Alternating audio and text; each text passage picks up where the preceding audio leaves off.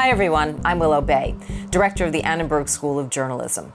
I'm here in our new media center, which has just been named the Julie Chen, Leslie Moonves, and CBS Media Center. The Media Center is the heartbeat of Wallis Annenberg Hall. Now, President Nikias says it's the city's largest newsroom. I haven't fact checked that, but I do know it is the most impactful. More than a high tech newsroom, this is a converged media center. All of our student run platforms operate here side by side. It's the first time we've been able to do that. We're teaching our students to be multimedia reporters, able to cover news across multiple platforms.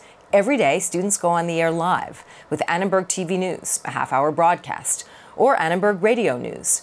They publish stories 24 7 on the award winning news website, Neon Tommy creating video and graphic elements to enrich their pieces, or apps to show off new work.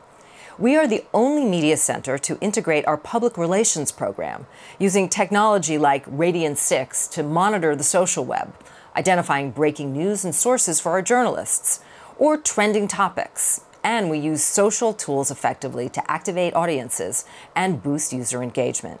This is a unique hands on experience students can't get at any other school.